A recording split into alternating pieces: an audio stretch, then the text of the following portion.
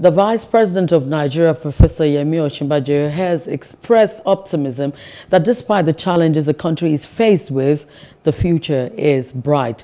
Professor Osinbajo, who was represented at the annual Nigerian Baptist Convention, enjoined all to stay positive. Our correspondent, Jacinta Obioku, has more.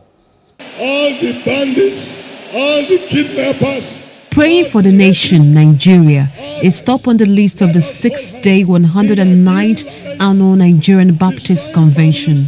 The kidnappers, the wicked, fighting Nigeria, fighting our peace in the, in the north, in the east, in the south, in the west.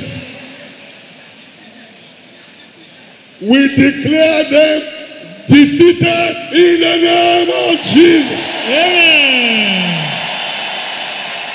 The Vice President, Professor Yemi Osinbajo, believes the future holds the best for the country, even in the deep-seated menace he was represented.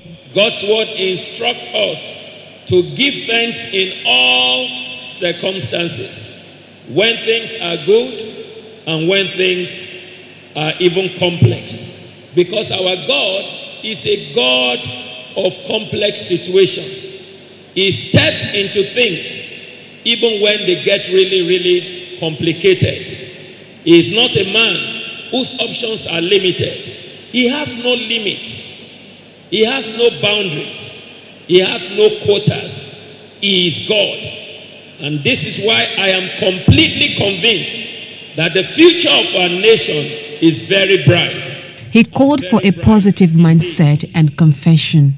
If we want our personal circumstances to change, or we want our country to be at peace and to prosper, we, the saints of God, we must declare it. We must speak. Speak the reality we desire. We have been empowered by the Spirit of God, who is in this convention and in this nation, to use our praises to use our thanksgiving to roll away the stone of insurgency, of kidnapping, of economic hardship, of unbelief, of fear and hopelessness, which is facing us as a nation.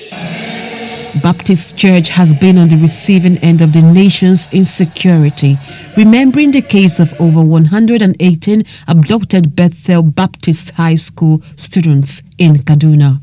The Baptist president, Reverend Dr. Israel Akanji, told the government to up its game in securing the people.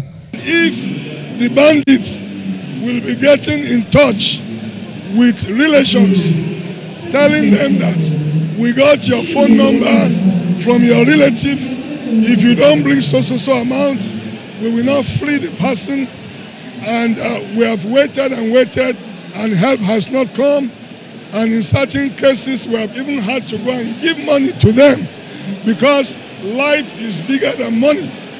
To retrieve little children from the hands of bandits, we experientially and existentially can say that the government needs to do more than it is doing.